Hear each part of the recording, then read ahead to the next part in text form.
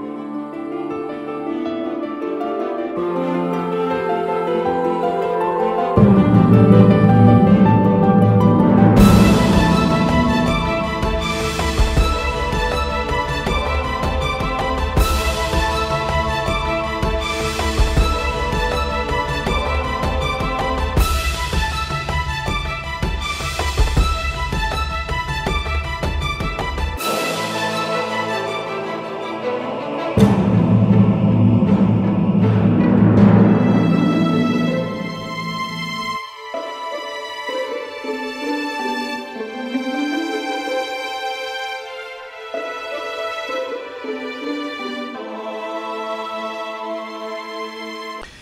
Αγαπητοί μου φίλοι και φίλες, χαίρετε. Ας είναι δοξασμένο το όνομα του Κυρίου μας του Ιησού Χριστού που μας αξιώνει και σήμερα να είμαστε μαζί στην εκπομπή Απαντήσεις μέσα από το Λόγο του Θεού. Είναι μια εκπομπή μέσα από την οποία προσπαθούμε να σχολιάζουμε όλα τα ζητήματα, τα θέματα τα οποία σας απασχολούν και μας στέλνετε με email στη διεύθυνση που τώρα αναγράφετε στις οθόνες σας. Μια φορά ακόμη θέλουμε να επιμείνουμε ότι ποτέ δεν διεκδικήσαμε την αυθεντία της ερμηνείας των γραφών, ούτε ποτέ θεωρήσαμε τους εαυτούς μας ότι είμαστε διδάσκαλοι, καθηγητές ή θεολόγοι.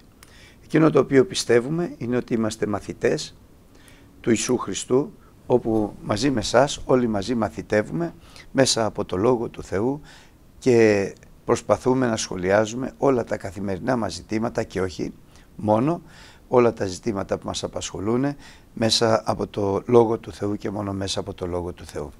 Σήμερα θα συνεχίσουμε με την ερώτηση που είχαμε αρχίσει την προηγούμενη εβδομάδα ε, που έλεγε «Αγαπητά μου αδέλφια, καλή σας ημέρα. Είμαι μια χριστιανή Ευαγγελική που γεννήθηκα σε μια παλιά Ευαγγελική οικογένεια».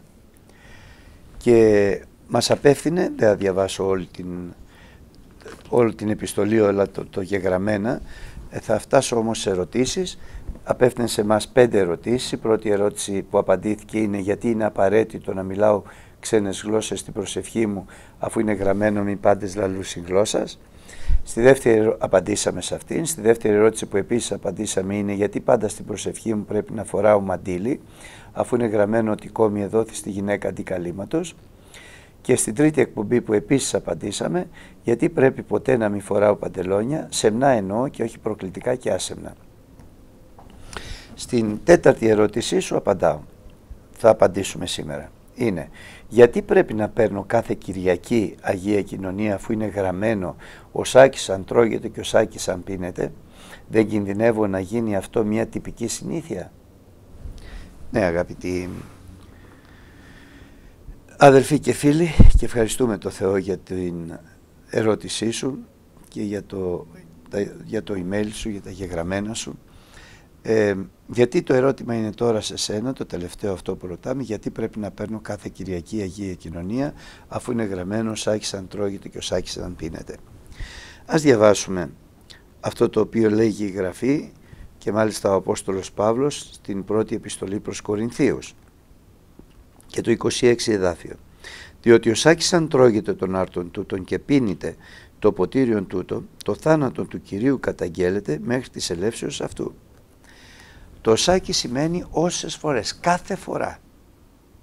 Όχι όταν, αν καμιά φορά. Αντιθέτως, κάθε φορά. Αυτή είναι η ερμηνεία του Σάκης. Όσες φορές, όλες, όλες τις φορές, κάθε φορά που τρώγεται που τρώγεται τον άρτον και πίνεται το ποτήριον καταγγέλλεται μέχρι της ελεύσεως το θάνατο αυτού. Καταγγέλλεται το θάνατο του Κυρίου μέχρι της ελεύσεως αυτού. Άρα λοιπόν το Σάκης δεν μας εμποδίζει ώστε να παίρνουμε κάθε Κυριακή. Το ερώτημα είναι γιατί κάθε Κυριακή.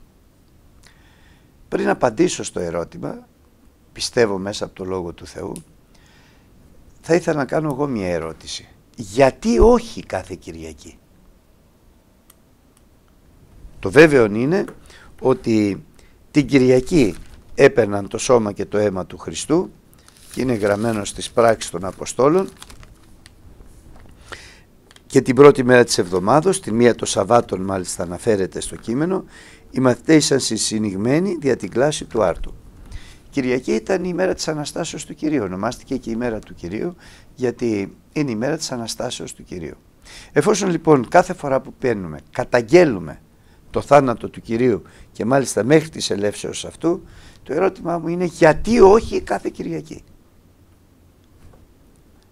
Γιατί δεν πρέπει κάθε Κυριακή να καταγγέλουμε ότι αδίκως ο Χριστός πέθανε; Δεν πέθανε γιατί αμάρτησε κατά το γεγραμμένο μισθό της αμαρτίας είναι θάνατος, αλλά πέθανε αναμάρτητος όν.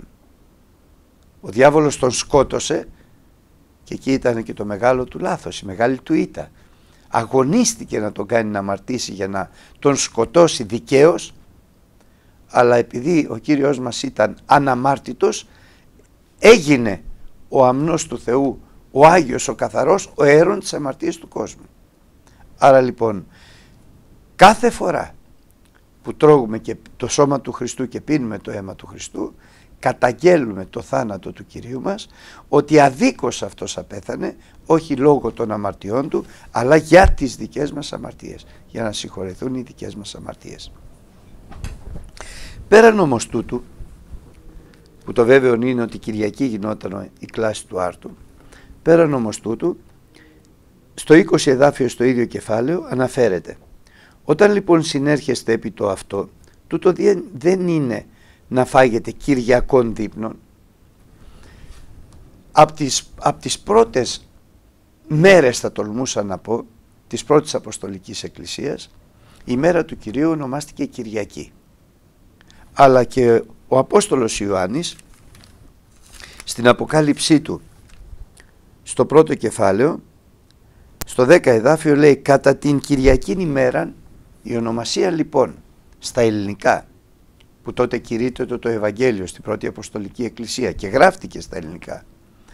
Η μία των Σαββάτων, όπως απεκαλείται από τους Εβραίους, η πρώτη μέρα της εβδομάδος, αλλά και η πρώτη μέρα της εβδομάδος, όπως απεκαλείται από τους ειδωλολάτρες, σαν η μέρα του ηλίου, κατά το σημερινό Sunday, που είναι στα αγγλικά η μέρα του ηλίου, ονομάστηκε στα ελληνικά ευθύς εξ αρχής η πρώτη μέρα της εβδομάδος σαν ημέρα του Κυρίου, σαν Κυριακή ημέρα.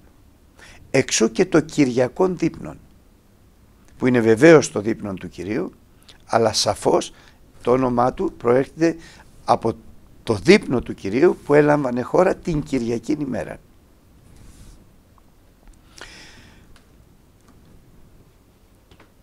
Αυτή είναι η ερμηνεία που δίνουμε εμείς ότι πρέπει κάθε Κυριακή. Αλλά έχουμε και άλλη μία συνήθεια, θεωρώ πολύ καλή. Όταν κάτι είναι αμφισβητούμενο, σαν ερμηνεία, αμφισβητείται σαν ερμηνεία από ανθρώπους, για να μην δίνουμε ποτέ στη ζωή μας ιδιωτικές ερμηνείες στο Λόγο του Θεού, τρέχουμε και στα γραμμένα για επιβεβαίωση όχι αποκάλυψη, γιατί ο Λόγος του Θεού είναι αυτός που μας οδηγεί, μας κατευθύνει και μας αποκαλύπτει το θέλημα του Θεού, το αγαθόν, το ευάριστον και το τέλειο.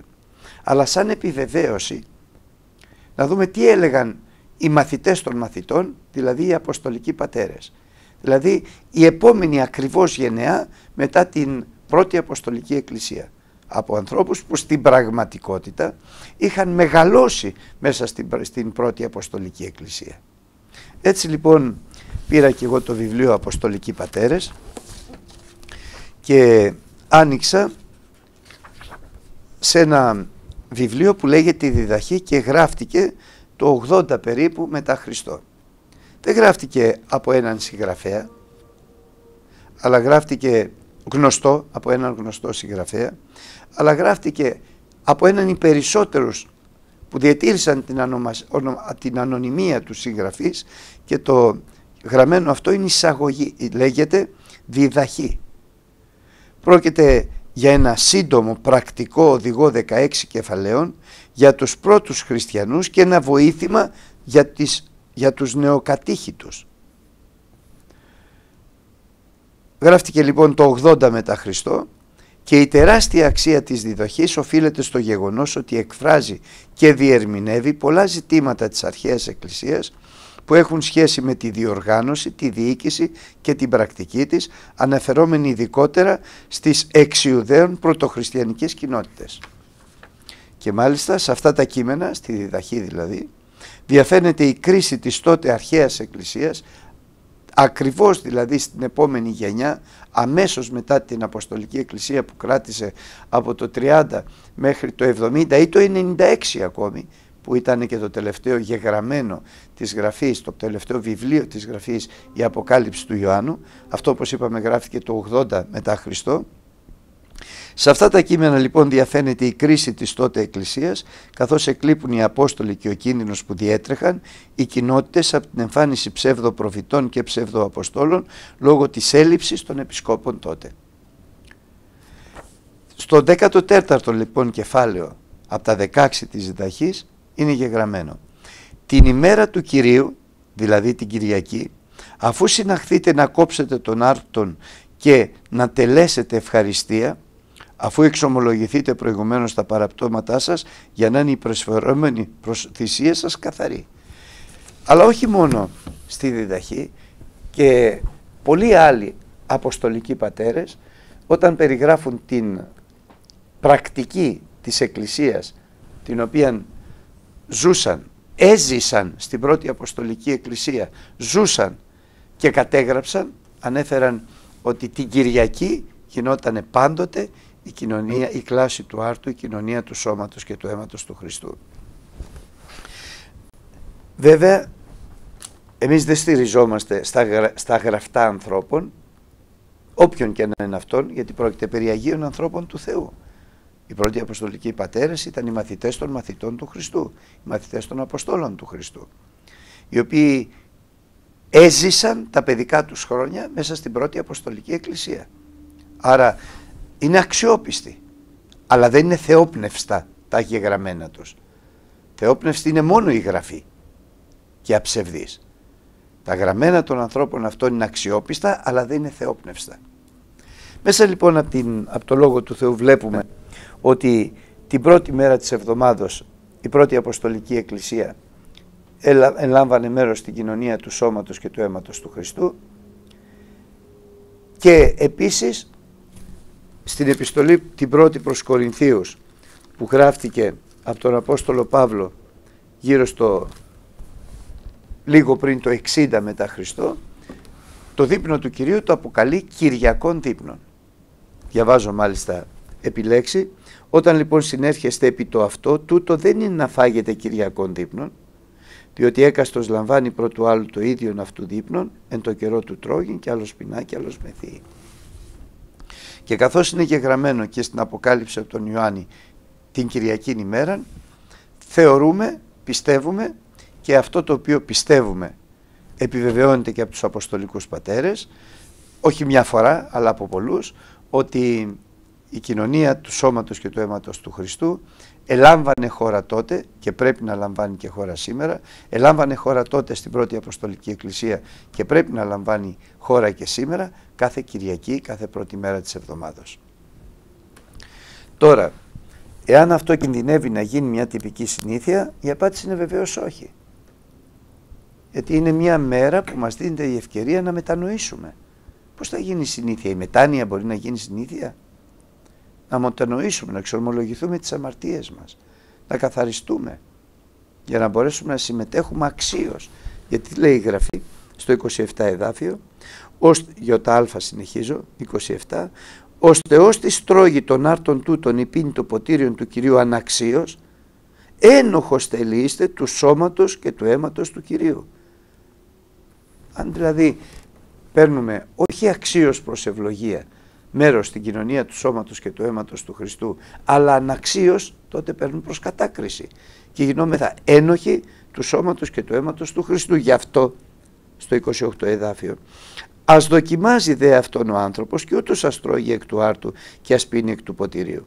Διότι ο τρόγων και πίνων αναξίως τρώει και πίνει κατάκριση σε αυτόν.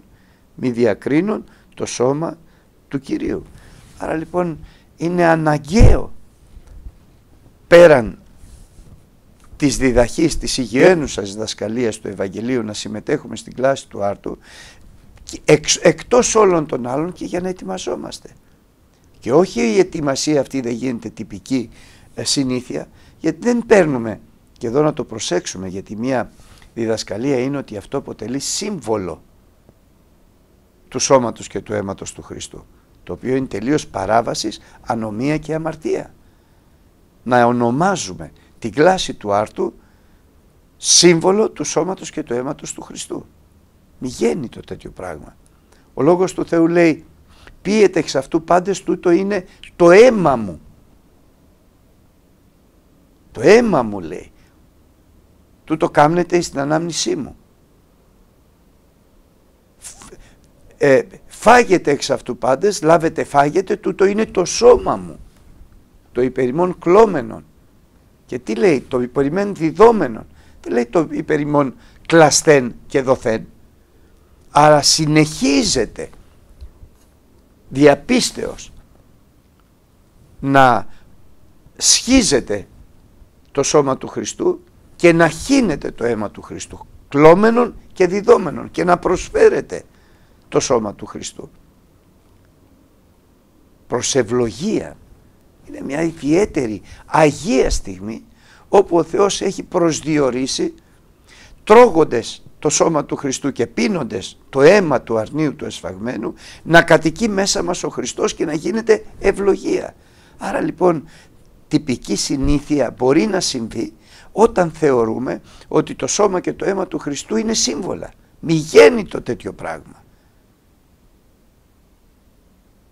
Πιο καθαρά δεν μπορεί να μας το πει ο Λόγος του Θεού. Λάβετε, φάγετε, τούτο είναι το σώμα μου. Το διαβάζω στο 24 εδάφιο. Και ευχαριστή σας έκοψε και είπε λάβετε φάγετε τούτο είναι το σώμα μου το υπερημών κλώμενον τούτο κάμνετε στην ανάμνησή μου. Το υπερημών διδόμενον τούτο κάμνετε στην ανάμνησή μου. Να μην αλλοιώνουμε το Λόγο του Θεού. Άρα λοιπόν πραγματικά μπορεί να γίνει τυπική συνήθεια εάν γνωρίζουμε ότι αυτό είναι και πιστεύουμε και νομίζουμε ότι αυτό είναι σύμβολο του σώματος και του αίματος του Χριστού που κάνουμε τούτο εις ανάμνηση της θυσίας του Χριστού. Αν όμως ξέρουμε μέσα από το Λόγο του Θεού που μας βεβαιώνει ότι αυτό είναι το σώμα του Χριστού που τρώμε και αυτό είναι το αίμα του Χριστού που τρώμε γιατί το σώμα μου είναι ε, τροφή και το αίμα μου είναι πόσης λέγει ο Χριστός.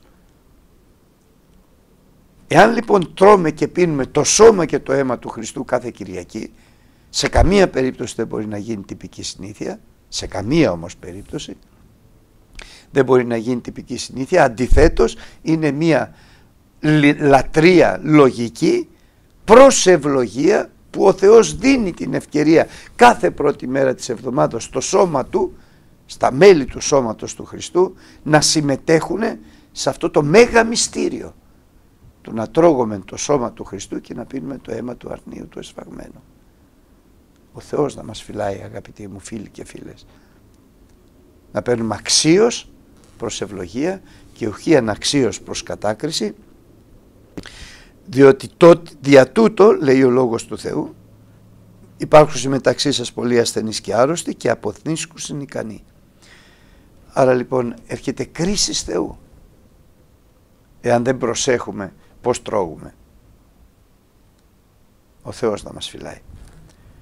Και το 31 εδάφιο συνεχίζει, διότι αν διεκρίνουμε τους εαυτούς μας, δεν θα κριθούμε, δεν θέλουμε κρίνεστε, αλλά όταν κρινόμεθα, παιδευόμεθα, εκπαιδευόμεθα υπό του Κυρίου, για να μην κατακριθόμεν μετά του κόσμου. Χάρις λοιπόν είναι αυτό που κάνει ο Θεός.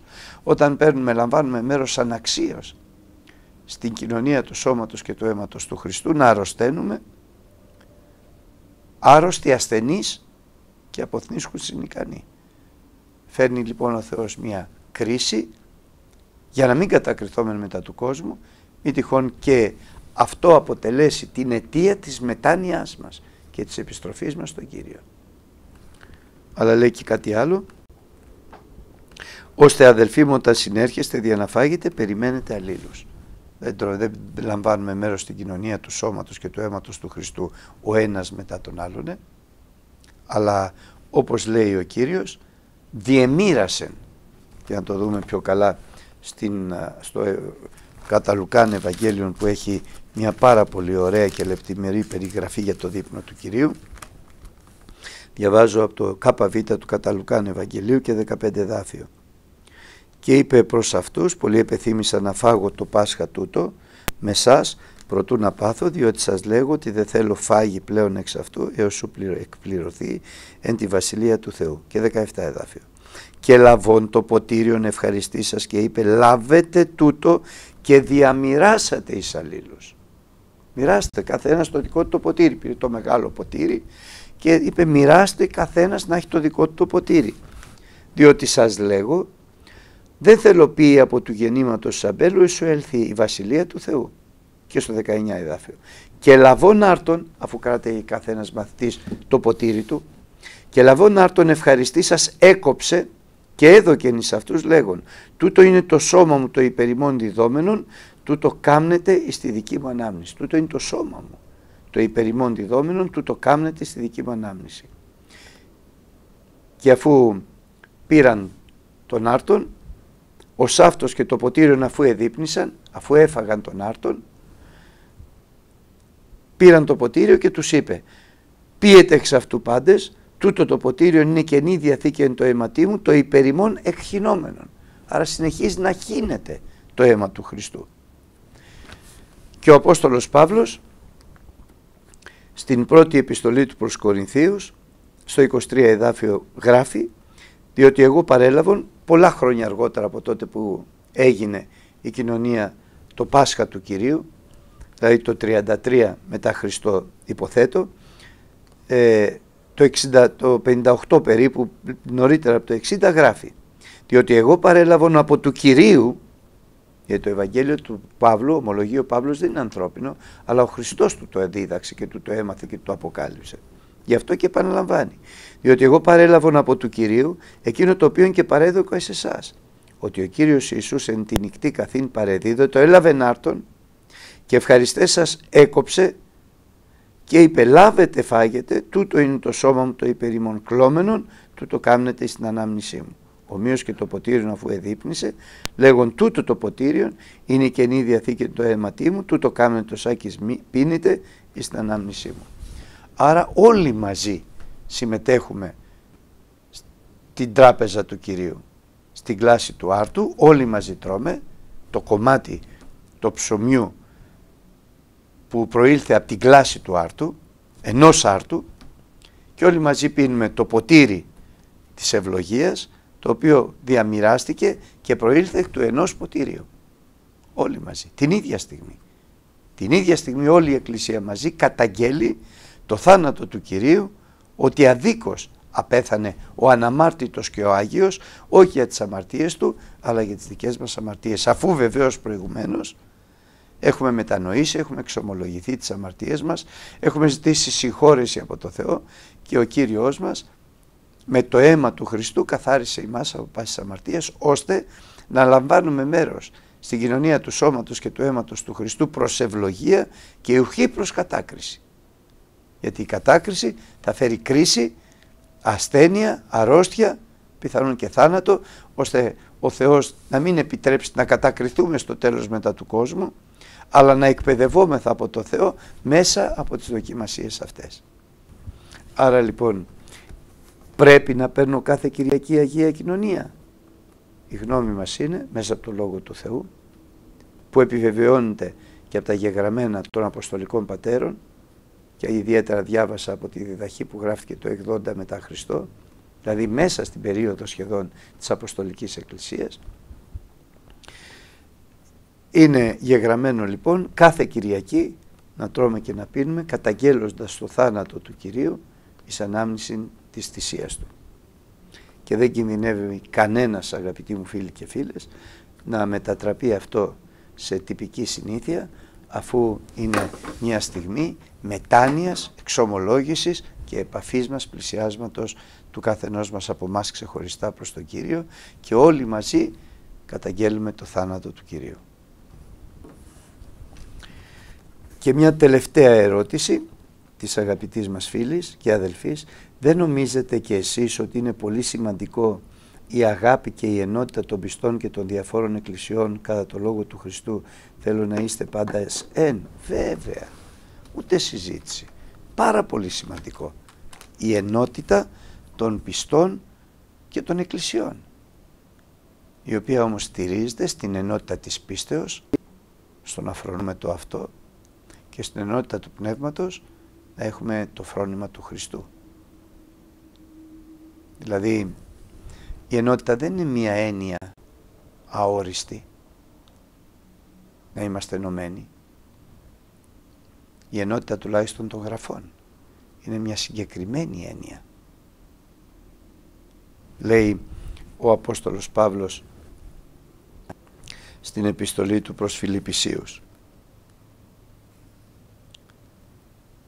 Κάμετε στο δεύτερο εδάφιο του δευτέρου κεφαλαίου.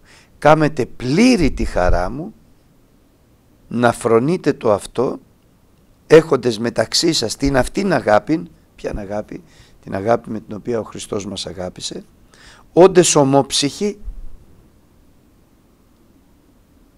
ομόψυχοι, δηλαδή με μία ψυχή θέλουσα και ομόφρονες με το ίδιο φρόνημα. Άλλωστε ο Απόστολος Παύλος λέει και στην πρώτη του επιστολή προς Κορινθίους στο 10 εδάφιο σας παρακαλώ δε αδελφοί δια του ονόματος του Κυρίου ημών Ιησού Χριστού να λέγετε πάντες το αυτό και να μην είναι σχίσματα μεταξύ σας αλλά να είστε εντελώς ενωμένοι έχοντες το αυτό πνεύμα και την αυτή γνώμη.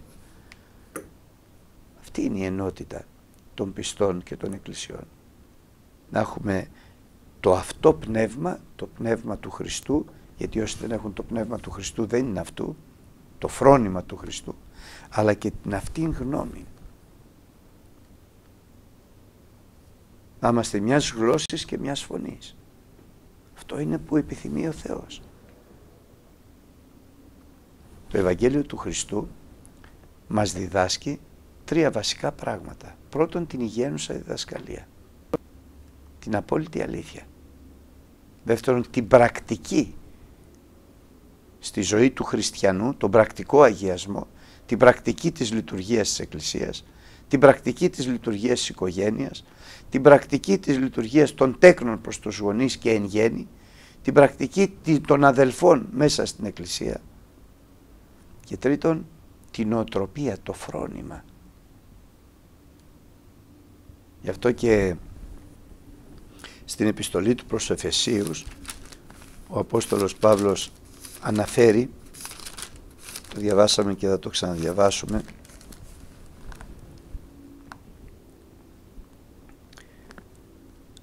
ο Κύριος έδωκε άλλους μεν αποστόλους, άλλους δε προφήτας, άλλους δε ευαγγελιστάς, άλλους δε ποιμένας και διδασκάλους προς τον καταρτισμό των Αγίων δια το έργο της διακονίας για την οικοδομή του σώματος του Χριστού την Εκκλησία έως ότου καταντήσουμε όλοι στην ενότητα της πίστεως.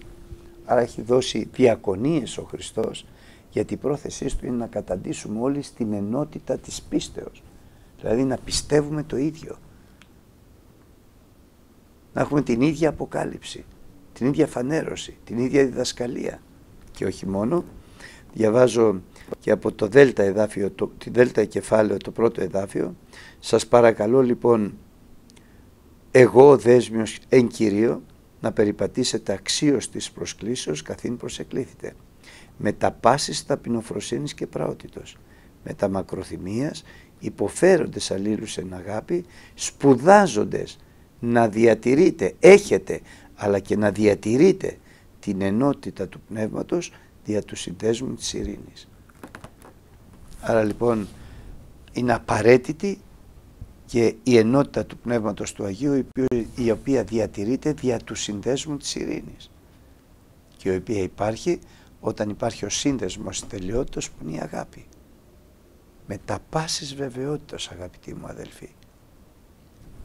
Είναι ανάγκη να έχουμε ενότητα πίστεως και ενότητα Πνεύματος Αγίου καθώς και ο Χριστός προσεύχεται γι' αυτό όπως είπες και εσύ. Λέγει λοιπόν ο Λόγος του Θεού στο κεφάλαιο Ιωταζήτα του κατά Ιωάννη Ευαγγελίου. Καθώς εμέ απέστειλε εις τον κόσμο ο Θεός και εγώ απέστειλα αυτούς εν τον κόσμο και υπέρ αυτών αγιάζω τον εαυτό μου δια να είναι και αυτοί αγιασμένοι εν τη αληθεία. Αγιάζω, τι θα πει, ξεχωρίζω τον εαυτό μου προς τον Πατέρα ώστε τα λόγια μου να είναι η αλήθεια και η αλήθεια είναι ο λόγος σου Πατέρα λέει ο Χριστός. Ξεχωρίζω τον εαυτό μου από τον κόσμο για να είναι αγιασμένοι αυτοί, ξεχωρισμένοι και αυτοί μέσα στην αλήθεια τη δική σου. Και συνεχίζει το 20 εδάφιο και δεν παρακαλώ μόνο περί τούτων αλλά και περί των πιστευσάντων εις εμέδια του λόγου αυτών. Προσεύχουμε μόνο για τους Αποστόλους, για τους μαθητές μου, αλλά και για όλους αυτούς που θα πιστέψουν από τα λόγια των Αποστόλων που είναι το Ευαγγέλιο του Ιησού Χριστού. Για ποιο λόγο, για να είναι πάντες εν. Αυτό θέλει. Προσεύχεται στον Πατέρα του.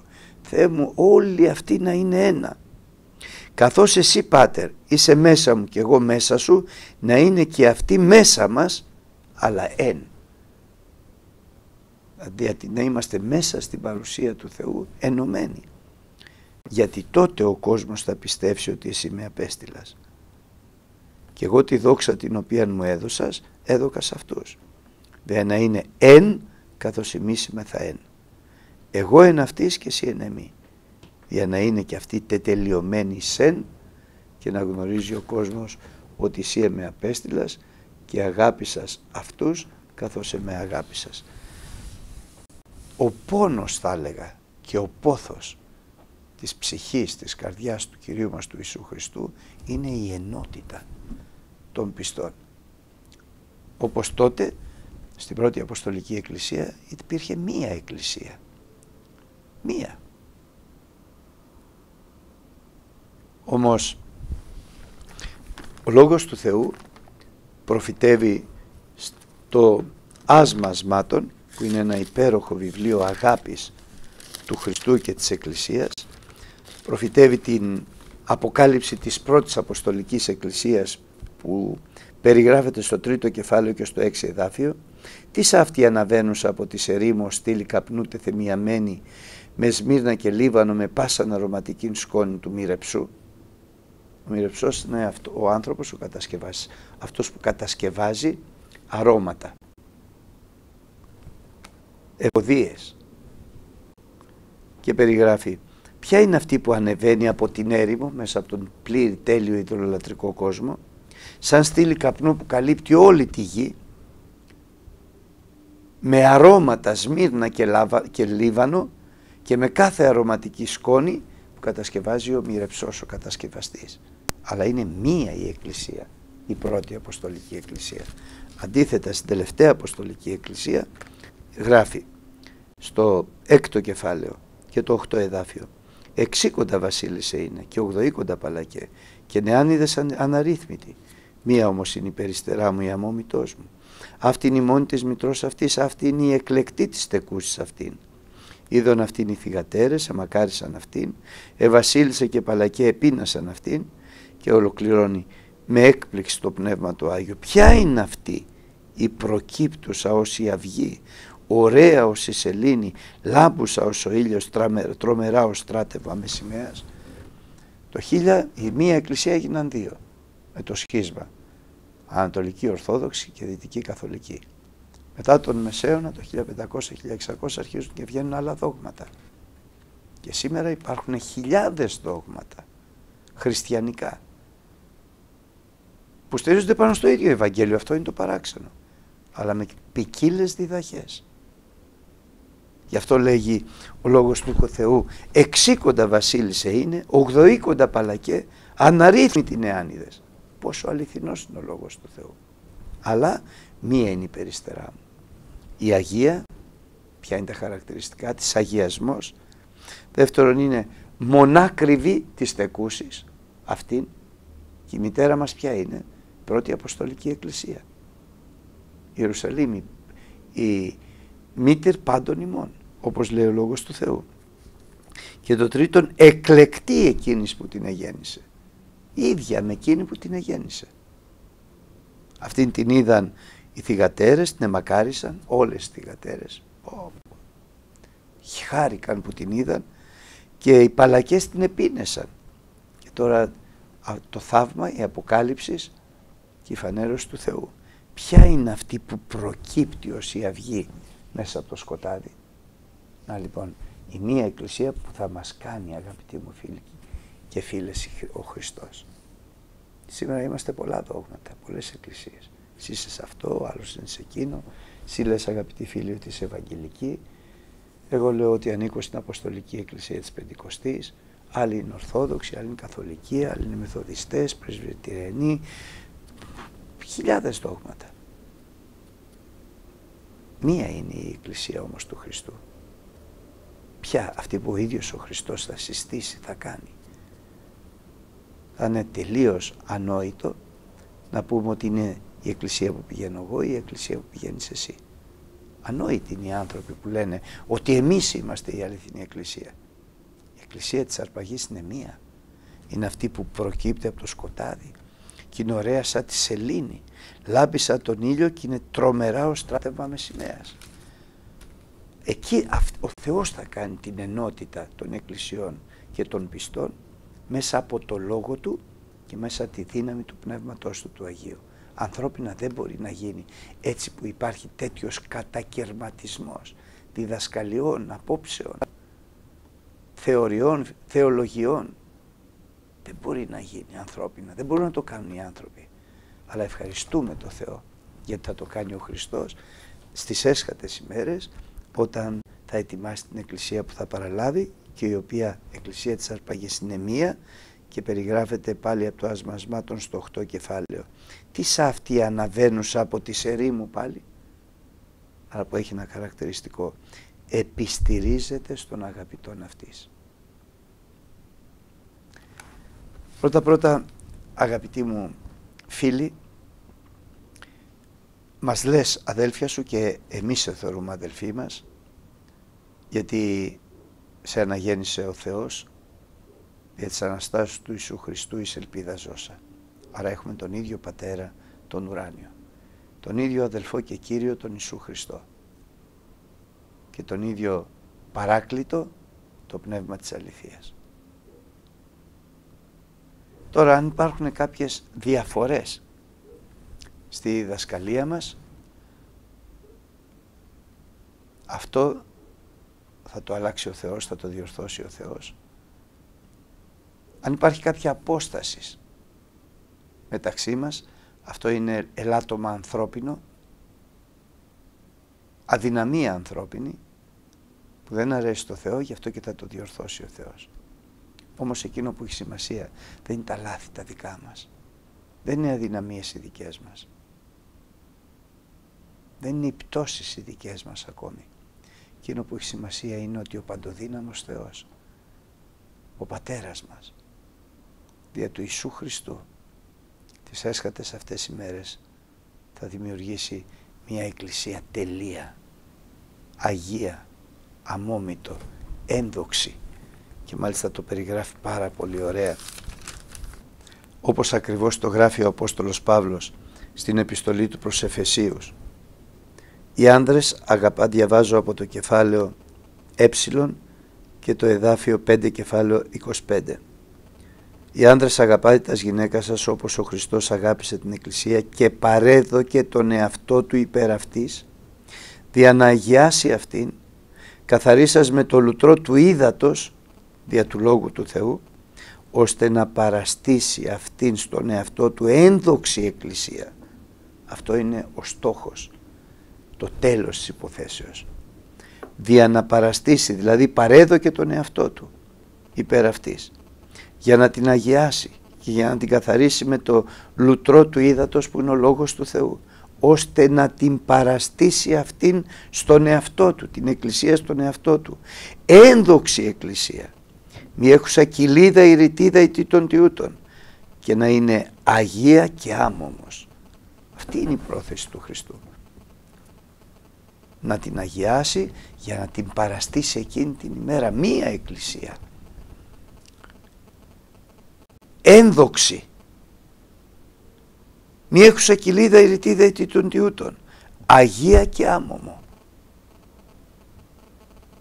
αυτή την εκκλησία περιμένουμε που θα φτιάξει ο Χριστός και προσευχόμεθα να είμαστε μέλος όλοι μας μέλη στο σώμα του Χριστού, στο σώμα αυτής της Εκκλησίας. Που αυτή η Εκκλησία για τις έσχατες ημέρες περιγράφεται από τον προφητικό λόγο και μάλιστα από τον Ισαΐα τον προφήτη που λέγει «Εν τεσσεσάτες ημέρες το όρος του οίκου του Κυρίου θα στηριχθεί επί της κορυφής όλων των ωραίων και θα υψωθεί υπεράνω πάντων των βουνών και πάντα τα έθνη θα σειραίουν σε αυτό και πολλοί λαοί θα υπάγουν. Αυτή είναι η Εκκλησία του Χριστού. Και θα λένε ελάτε και θα ανεβούμε στο όρος του Κυρίου στον οίκον του Θεού του ζώντος και εκεί θα μας διδάξει ο Κύριος θα σοδούς αυτού. Εκεί θα μας δοθεί η γένουσα διδασκαλία σε αυτή την εκκλησία τις έσχατες αυτές οι μέρες. Και εκεί θα περπατήσουμε, θα μας διδάξει για να περπατήσουμε στα δικά του μονοπάτια, στους δικούς του δρόμους. Και πιο ωραία το περιγράφει το ίδιο πράγμα και πιο αποκαλυπτικά θα τολμούσα να πω στο ΚΕ κεφάλαιον του πάλι ο Ισαΐας ο προφήτης διαβάζω από το 25 κεφάλαιο ΚΕ κεφάλαιο και από το 6 εδάφιο. Και επί του όρους τούτου ο Κύριος των δυνάμεων θέλει κάμεις εις πάντα στους λαούς εις πάντα στους λαούς επί το όρος τούτο. Ευοχία από παχαίων ευοχία από ίνων εν την τριγία αυτών από παχαίων με, μεστών μυελού από ίνων και καθαρισμένων επί της τριγίας. Μεγάλη ευλογία. Σε αυτή την εκκλησία την τελευταία την αμόμητο, την Αγία, την περιστερά του θα κάνει ο Θεός και μάλιστα συγκεκριμενοποιεί και το έργο του. Εν το όρι τούτο θα αφανίσω το πρόσωπο του περικαλήματος του περικαλύπτοντος τους λαούς και το κάλυμα το καλύπτον επί πάντα τα έθνη. Σε αυτό το όρος, στην Εκκλησία την Αγία των Εσγάτων ημερών που θα φτιάξει ο Χριστός θα καταργήσει το κάλυμα της απιστίας σε όλα τα έθνη και το διάβολο που προκαλεί και φοράει στους ανθρώπους αυτό το κάλυμα της απιστίας. Και το φοβερά αποκαλυπτικό εδάφιο στο 8 εδάφιο. Και τότε θέλει καταπεί τον θάνατον ενίκη και τότε ο Κύριος ο Θεός θα σπογγίσει τα δάκρυα από πάντων των προσώπων και τότε θα εξαλείψει το όνειδος του λαού αυτού από πάσης της γης διότι ο Κύριος ελάλησε. Τότε θα γίνει το γεγραμμένο θα καταπεί τον θάνατον ενίκη και θα είχαμε πολλές αμφιβολίες για ποια μέρα μιλάει, για ποιο όρος μιλάει αλλά εάν πάμε στην επιστολή του Αποστόλου Παύλου προς Κορινθίους την πρώτη, εκεί μας εξηγεί ακριβώς περί του εδαφίου αυτού στο ΙΕ κεφάλαιο λέγοντας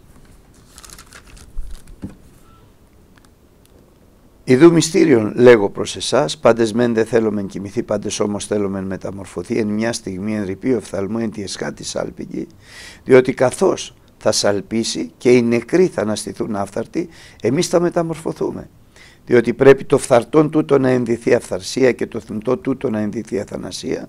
Όταν δεν το φθαρτό τούτο ενδυθεί αυθαρσία και το θυντό τούτο ενδυθεί αθανασία, τότε θα γίνει ο λόγος ο γεγραμμένος κατεπόθη θάνατος ενίκη και μιλάει βέβαια για την αρπαγή της Εκκλησίας και μιλάει και ερμηνεύει αυτό το εδάφιο ο Απόστολος Παύλος στο Ευαγγέλιο του Χριστού για το όρος των εσχάτων ημερών.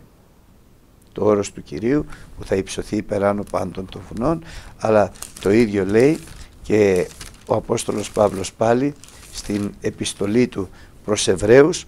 Διαβάζω από το ΙΒ και από το 25 δάφιο. Προσέχετε μην καταφρονήσετε το λαλούντα, διότι αν εκείνοι δεν απέφυγον καταφρονήσατε το λαλούντα προς αυτούς επί της γης, πολλό μάλλον εμείς εάν αποστραφόμεν το λαλούντα επί των ουρανών του οποίου η φωνή την γη σάλευσε τότε, τώρα δε υπεσχέθη ο λαλών εκ του ουρανού, ο Θεός, έτι άπαξ, εγώ σίω όχι μόνο τη γη αλλά και τον ουρανό. Το δε έτι άπαξ δηλεί των σαλευομένων τη μετάθεση ως χειροποιήτων διαναμήνωση τα μη σαλευόμενα. Άρα λοιπόν εκείνο το οποίο έχει υποσχεθεί ο Θεός είναι των σαλευομένων τη μετάθεση για να μείνουν τα μη σαλευόμενα καθώς ο Κύριος θα κάνει έτη άπαξ δηλαδή μια φορά ακόμη δεν υπάρχει άλλη φορά σεισμόν όχι μόνο στη γη αλλά και στον ουρανό για να γκρεμίσουν τα σαλευόμενα, να μετατεθούν τα σαλευόμενα σαν χειροποίητα και να μείνουν τα σάλευτα.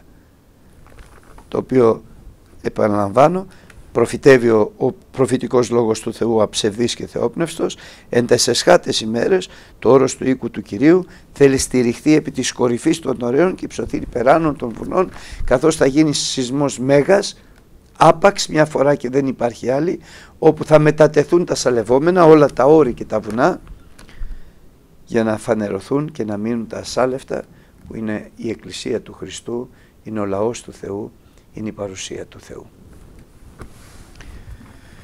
Ο Κύριος να σε ευλογήσει αγαπητοί μου φίλοι και αδελφοί για την ευκαιρία που μας έδωσε να μιλήσουμε για τόσο ωραία και σημαντικά πράγματα. Σου ευχόμαστε αλλά και εύχομαι και εγώ με πολύ αγάπη σε όλους σας. Ο Κύριος να σας ευλογεί πάντοτε πλούσια και κατά πάντα με κάθε ευλογία πνευματικής στα επουράνια στο όνομα του Χριστού μας. Αμήν.